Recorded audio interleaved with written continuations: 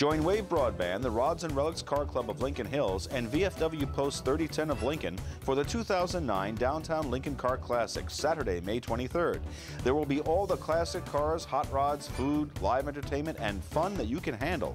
Money raised from this event will go to benefit the Lincoln High School music program. For information, call Kent Parcell at 434-6648 or visit rodsandrelics.net. That's the 2009 Downtown Lincoln Car Classic, Saturday, May 23rd.